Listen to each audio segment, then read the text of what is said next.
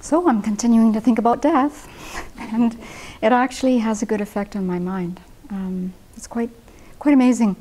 And so, uh, as I continue to go through the nine point death meditation, there are three different conclusions. They're all related, but they're very similar. And so, when we reflect on the fact that death is definite, the conclusion we should arrive at is that I must practice the Dharma. And then when we reflect on the time of death is uncertain, then the conclusion is I must practice the Dharma continuously, beginning from right now. And the third one is that um, nothing can help us at the time of death except the Dharma. So again, the conclusion is I must practice beginning from right now and not pay attention to things like well, we're not doing this anymore, accumulating wealth or taking care of our family and friends and all of the eight worldly concerns, but to really focus our minds on uh, developing ourselves so that at the time of death, whatever we've got in our spiritual kit bag is what we're going to use. And so um, this has been very, seeing what my parents are experiencing with dementia, they both have vascular dementia, I see this very clearly that what they've done for their entire life is what they're doing now. And in my mom's case, she still practices the piano every day. Every day she goes to the piano and brings her happiness. Um, and so probably she'll be playing hymns at the last moment, I hope. In my dad's case, before he was sort of wheelchair bound, he would go around the house. He used to be an electrician. And he would spend many, many hours feeling the walls and tracing lines with his hands. Well, that's what he practiced doing his whole life. And so, in his compromised state, he's being an electrician. Now, he was an honest electrician, so I hope this holds him well at the time of death. But for those of us who are our practitioners, um, we can see that what we're doing now, the way we live our life, is how we're going to die. So then, you know, I can look at all these teachings that we've had from our dear teacher, Venerable Chodron, and His Holiness the Dalai Lama, and whoever your teacher is. And then I can go into a state of panic, like, okay, what do I practice? Which is a ridiculous question, but that does come up. Like, what do I practice? There's so many things. And I remembered um, Venerable Chodron teaching um, something called the five powers or five forces during mind training like rays of the sun. So I, I went back and refreshed my memory about those teachings, which are like a, a condensed version of everything we should be doing every day. So I thought I'd just read through these. I'm sure you've heard them before, but it's, I find it's very good to refresh this. Um, so the five powers are motivation, white, the power of the white seed, the power of destruction, the power of aspiration, and the power of familiarity. And in the teaching that Venerable Chodron gave, she spent the, the huge amount of time on motivation. That took up most of the teaching. And if you have been to the Abbey or you're planning to come to the Abbey, you'll see that setting a motivation happens before we do anything, really.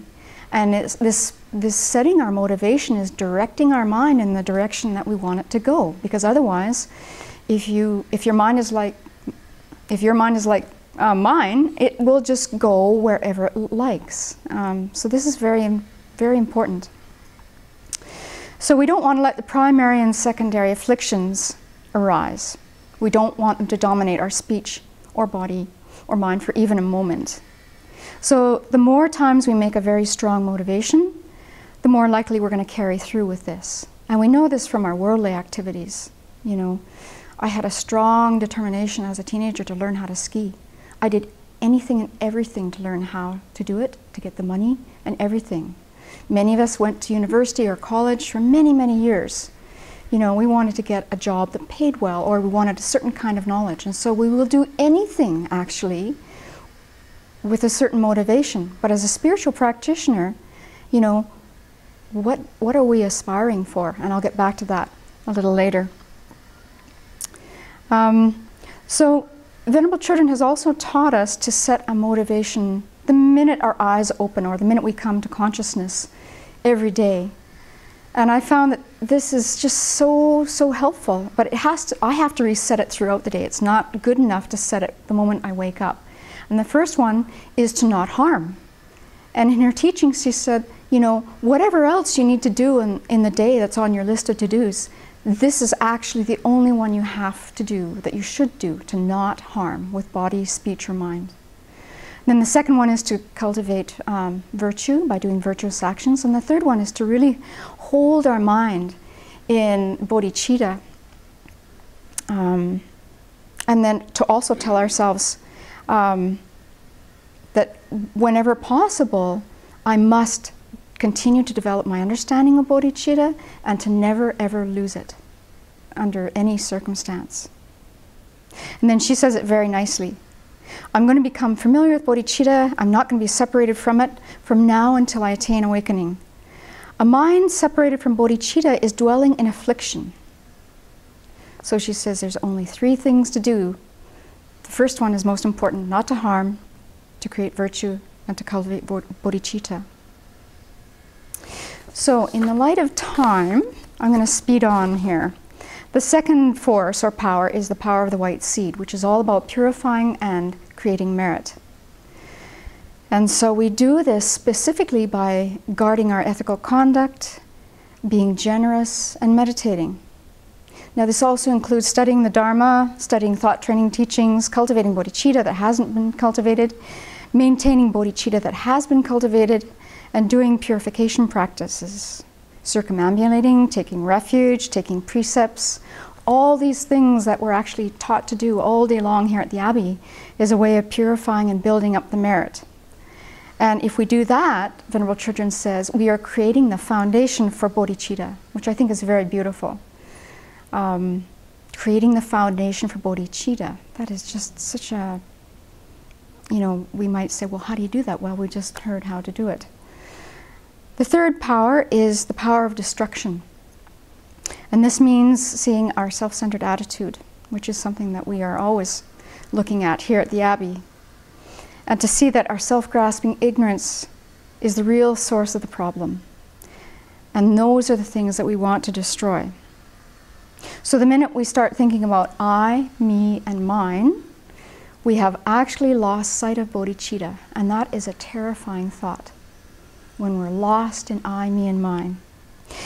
I think the thing that grabbed me the most from this part of the teaching that Venerable gave was um, so when we're stuck in these afflicted states, we have the inclination to neglect others.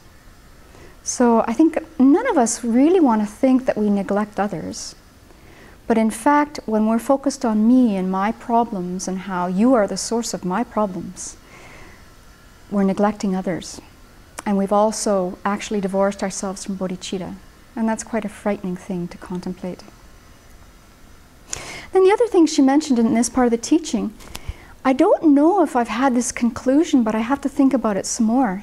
And she said, um, other people cannot send us to the lower realms but our afflicted mental states can.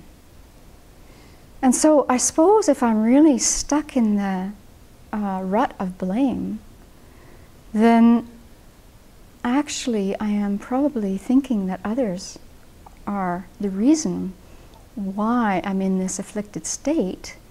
And it's afflicted states that take us to the hell realm. And so it would be this just twisted way of perceiving something that is totally not true.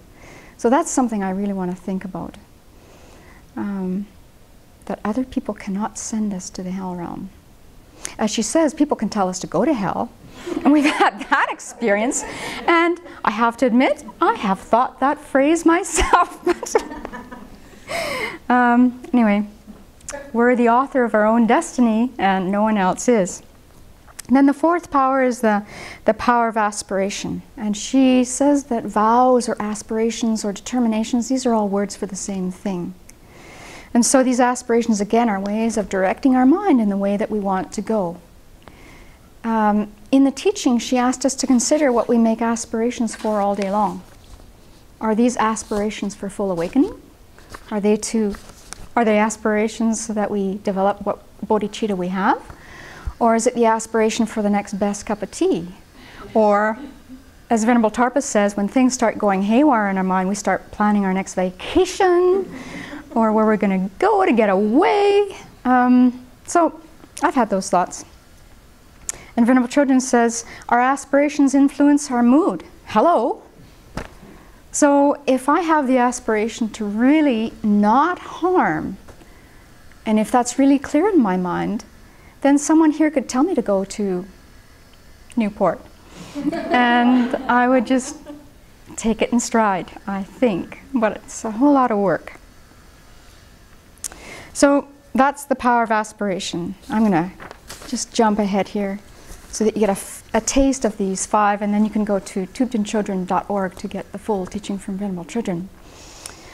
Um, oh, and the thing about the power of aspiration, this is very beautiful. She says that we want to make sure that in a future life we are open, receptive, and humble so that we can so that when we meet a teacher so one of our aspirations should be you know i want to meet authentic spiritual teachers who are teaching the dharma so that in a future life when we meet these teachers that we actually recognize them and not start criticizing them and i have a story that i'm not going to share right now it's very embarrassing about a very it's not venerable Chodron, but a very prominent teacher and i just thought i can't understand what you're saying i just don't get it and then I started feeling critical, and I couldn't see how that person could help me.